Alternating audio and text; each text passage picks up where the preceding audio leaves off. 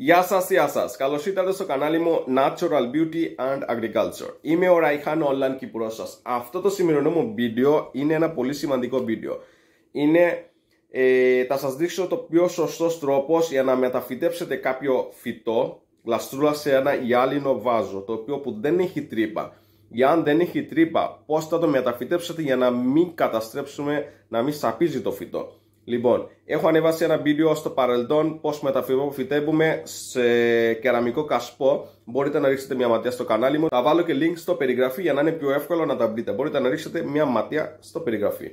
Λοιπόν, πρώτα απ' όλα, για να μεταφυτέψετε ένα φυτό σε γυάλινο βάζο, πρέπει να βάλετε πάρα πολύ ελαφρόπετρα από κάτω. Όπως το βάζω και εγώ, σας το δείχνω.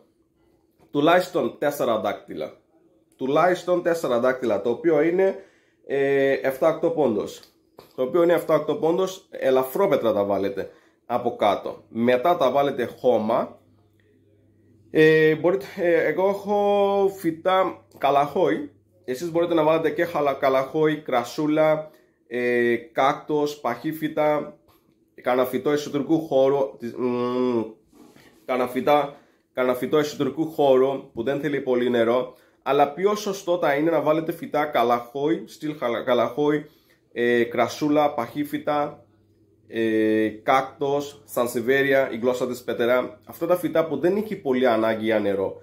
Είναι πιο σωστό να βάλουμε αυτά τα φυτά, διότι μπορείτε να ψεκάσετε ίσα ίσα να υπάρχει λίγο γρασία στο χώμα. Όχι όμως ποτιστήρι ούτε με μπουκάλι νερό, για να μην μαζεύει νερό πολύ. Σε περίπτωση αν πέφτει λίγο νερό παραπάνω, δεν τα σαπίσει η ρίζα διότι έχετε βάλει ή έχω βάλει διότι έχουμε βάλει 4 δάκτυλα δηλαδή 7-8 πόντος ελαφρόπετρα από κάτω ώστε αν, αν πέφτει πολύ νερό ή αν ποτίζουμε πολύ το νερό να πάει κάτω κάτω να μην κρατάει νερό στο χώμα. Γι' αυτό το λόγο βάζουμε τόσο πολύ ελαφρόπετρα ε, αλλά για να μην κινδυνεύσουμε το φυτό σωστό είναι να ψεκάσετε με ένα ψεκαστήρι που και που ή να το ποτίσετε πολύ λίγο σφινάκι, κάτι Σάββατο, ένα σφινάκι και ένα σφινάκι εκεί, κάπως έτσι.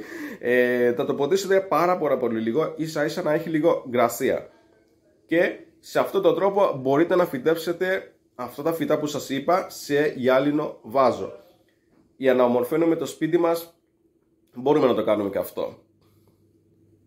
Λοιπόν, μετά τι κάνουμε, βάζουμε και όπως δείχνω στην οτίνη σας τώρα ότι ελαφρόπετρα γύρω γύρω στην κλάστρα.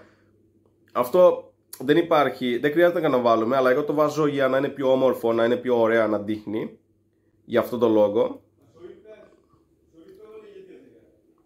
Λοιπόν, ε, επίσης ε, ενδιάμεσο θέλω να σας πω έχω ανεβάσει ένα βίντεο με μεταφύτευση φυτά εσωτερικού χώρου ε, το οποίο πάει πολύ καλά. Το έχουν δει πάρα πολλοί κόσμος. Έχουν μεταφύτευση. Μου έχεις στείλει ήδη μήνυμα ότι σε αυτόν τον τρόπο που μεταφύτευσε πάει καλά τα φυτά τους. Οπότε και εσείς μπορείτε να ρίξετε μια ματιά να δείτε σωστός τρόπος μεταφύτευση φυτά εσωτερικού χώρου. Θα έχω το link στην περιγραφή για να είναι πιο εύκολο να τα βρείτε. Λοιπόν, να, όπως σας είπα και πριν, 4 δάκτυλα είναι περίπου 7-8 πόντο ε, ελαφρόπετρα από κάτω. Τα φυτά είναι έτοιμο, είναι πάρα πολύ ωραία, πιστεύω να σας αρέσει τα φυτά και η γλάστρα που το έφτιαξα τώρα. Ευχαριστούμε πάρα, πάρα πολύ για τον χρόνο σας. Για αν σας άρεσε πολύ, μπορείτε να κάνετε μια κοινοποίηση να δουν οι φίλοι σας και η παρέα σας. Επίσης, μια εγγραφή στο κανάλι μου Natural Beauty and Agriculture. Γεια σας, γεια σας.